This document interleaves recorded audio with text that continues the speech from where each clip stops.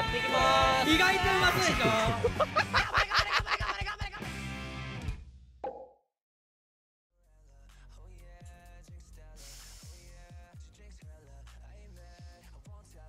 ところでカービィ押すって何だったの？何だったのって何？浅草の散歩配信の時に視聴者にもらったやつ。いやもうなん、マジでなんも、なんも、てか、俺あの、あの時筋トレ行ってたからさ、ザーカッセの時。俺どんなん書いたのか覚えてないんだよね。頭に思い浮かんだものをバーって書いただけだから、最終日に。とりあえず全員がドン引きしてた。怖い、俺も見んの怖いわ。いやでもね、カービィ押すあるじゃん。俺笑う人がなんとなく想像できんだよ。花房がもう下ネタ大好きなの。そこは喜んでくれてそあれあれ？欲しいね。スタミジャパンカービィかっこ押すやば。すう。これさ、これさ、一番最初に言われてんの誰？ははって言ってんの誰これ花房じゃないの？これ花房だよな。おいおいおい先生えこれ映していいですか？先生これやばいよマジか。助かります。喜んでる、喜んでる。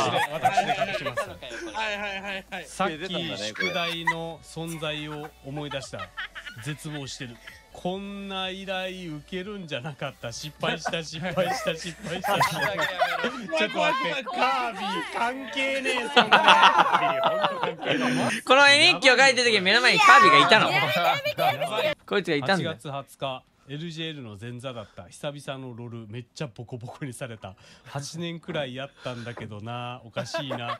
でもくじけない。敗因は功労していた内心だけど俺は。俺はすげえやつだな、こいつ。字が下手すぎる。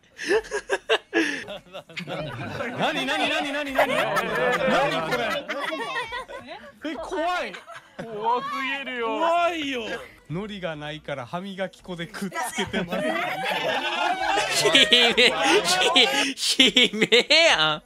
悲鳴、って言ってるけど。サム君の日記はなんかすごかったなこれがマジでやばいなおい、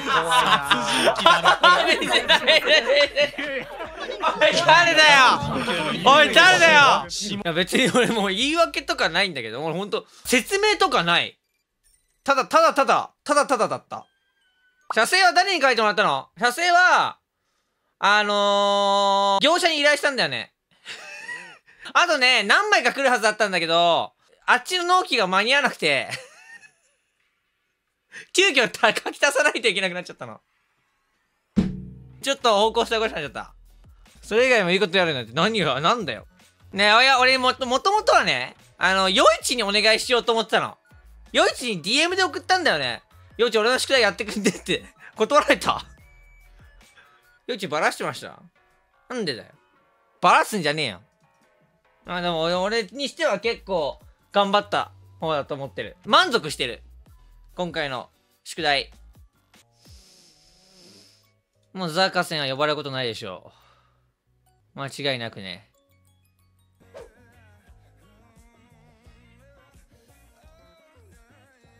確かお題が、最低だった彼氏と、まあ、滑れない話みたいな。お前らの面白い話を教えてくれみたいな題材あったかな。ツイストスパイラルパーマにしてくださいって言ったら測ったのやった。からスタートしましょう。はい、次。彼女がデートに家庭用脱毛器のグラスを好きで。お前、めっちゃおもろい。おもろいないるそんなやつお前、家庭用か脱毛器のグラスって知ってるとなんか。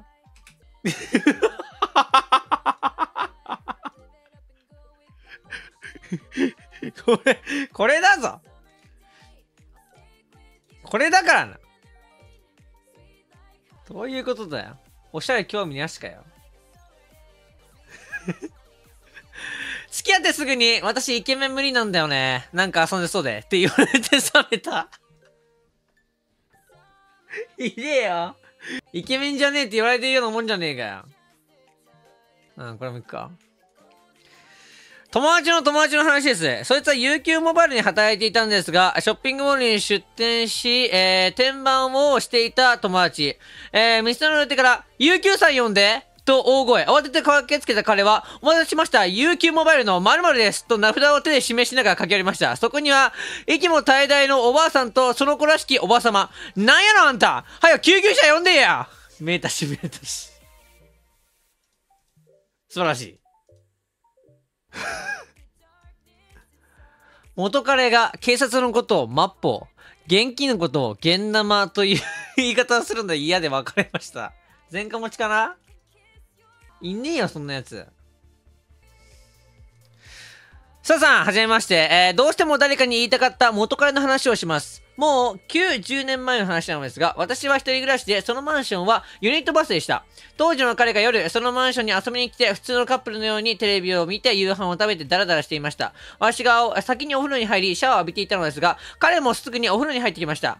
えー待ったら寝ちゃいそうだから言って行ってきて入ってきたらしいのですが、なんせクソ狭い浴槽ですので邪魔やなと思いながら体を洗っていました。えー彼は私より先にシャワーが終わって浴槽から出ました。そして、えーシャワーカーテンの向こうのトイレでうんこをし始めました。まだ私がいるのに。いや、それ分かってやれよシャワーカーテンの内側で気を使って2、3回と、えー頭からつま先まで洗い続けました。便意は仕方ありませんし、我慢も良くないのは分かっているのですが、状況が状況だなとなったのを覚えています。そんな彼とは、えー親が買ってくれたグレーのコートをパーソナルカラー的に似合ってないと言われたので別れました。彼はパーソナルカラー検定をしています。いや、もう我慢できないだろ。えー初めて家でデートをすることになって、ウキウキで手料理のパスタを作って出したら、一口食べて、これ何が入ってるの？俺いいわ。って断られて、残ったパスタを自分で食べました。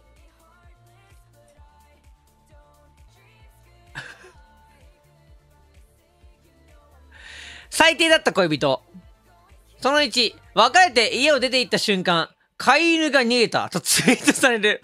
一緒にショッピングモールに行って、ここで待っててとベンチに座らされて、4時間を待っても戻らず、後日問い詰めたら、屋上で倒れてたとありえない嘘をつかれる。浮気相手の家にいた。やばっ当時着ていたコートが、えー元彼に、えー買ってもらったことがバレて、コートとカバンなどありったけの持ち物を窓から捨てられる。焼肉屋で喧嘩してピーマンしか食べさせてもらえない。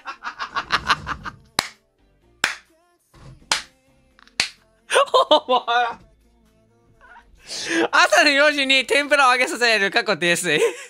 朝の4時にとんかつを揚げさせ、揚げら、揚げさせられた挙句床に捨てられる過去です。いつもより遅く帰ってきたので、夕飯を自分でレンチンさせた、えー、させたから、機嫌が悪いのかなと思っていたから、聞いてみたら、ナスがねえだろうがとブチ切れる過去調べ。まだまだありますが、この辺で、教養が広すぎて嫌だったというより、えー面白いエピソードできたなというような感覚でした。あと、えー全員顔がかっこよくてお金持ちだったので、全全然許せましたと。これめっちゃおもろいな焼肉屋で喧嘩して、ピーマンしか食べさせてもらえないいや、でも今回はこんなもんか。まとめ。結構票数は来たんだけどね。なんか、最低だった恋人で、バッドなやつが多かったんだよな。私の彼氏は本当に最低で、こんなこんなこんなんで、スタビさん助けてくださいみたいなのがちょっと多かったから、俺のツイートの仕方が悪かったわ。そうそうそう。ネタにできるのを送ってください。そう、悲しくなっちゃうやつが多かった。いやでもこれ、こういうの、こういうのを待ってるけどね、その話をすると。これおもろいわ。彼って家を出て行った瞬間、飼い犬が逃げたとツイートされて、全部おもろくない？この人にメッセージに回答したら、回答するができるんだ。もっとください。あ、ツイートで。この人にさ、個人で回答ってできないのかな、マシュマロって。その他に投稿。ツイートするしかないんだね。この人個人になんか返答したいね。次のお題がなんだっけ？ついついて、ついてしまったデカめの嘘。